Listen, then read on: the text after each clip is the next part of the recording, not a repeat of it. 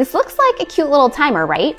But to me, it's one of the fastest ways to help a child with ADHD to manage their time and actually get things done.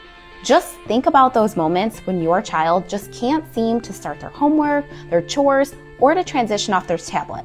They stall, they wander around, maybe even get upset, and nothing that you say seems to make a difference. It's actually not laziness or defiance, it's time blindness, which is a really common challenge for kids who have ADHD. Their brains literally struggle to sense how long tasks actually take. They may underestimate, overestimate, or just lose track of time entirely. And in that state, planning and prioritizing goes completely offline.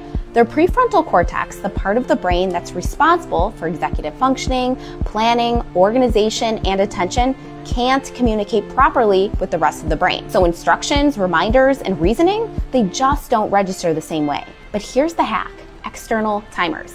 Timers provide a concrete, visual, or auditory cue the brain can actually grasp.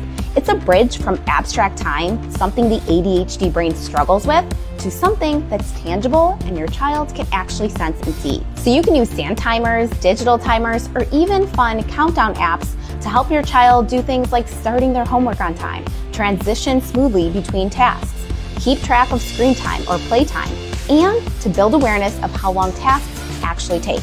And here's why it works. The timer activates the brain's planning and self-monitoring systems.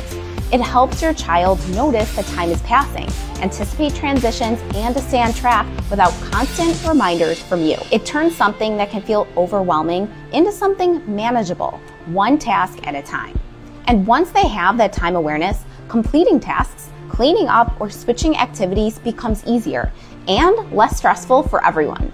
So try this out and see how your child responds. You might be surprised at how a simple timer can transform focus, reduce stress, and make routines run so much smoother.